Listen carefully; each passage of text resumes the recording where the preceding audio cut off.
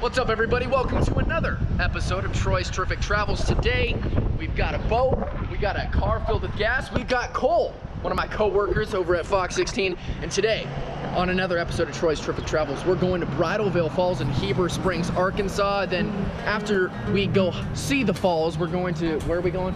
Going to Greers Ferry.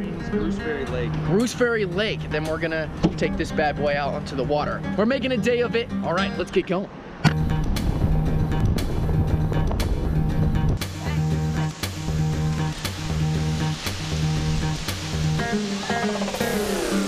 I know that this hike is only half a mile, but here's a tip one if you're gonna go hiking.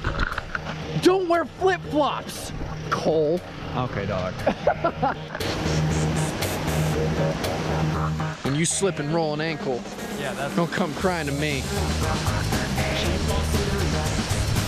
All right, so when you get to this point in the trail, you have two options. You can either go down this way, which is a lot steeper, but you'll get to the waterfall faster, or you can proceed this way. It's gonna take you maybe a minute longer, but it's a lot safer, and I definitely recommend this way.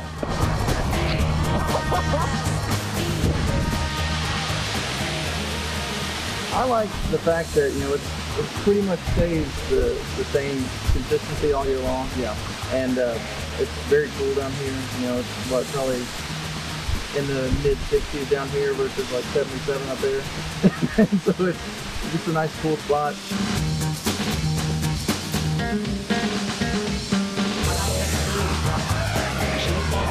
Man, we're just exploring Arkansas one waterfall at a time. Bridal Veil Falls, what do you think? It's awesome. Bring your family. You have a whole lot of fun.